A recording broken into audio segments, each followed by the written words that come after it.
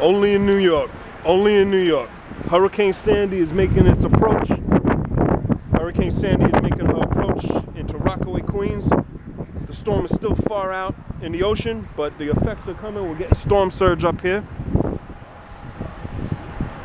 And some cars are stranded already. Gas stations are closed.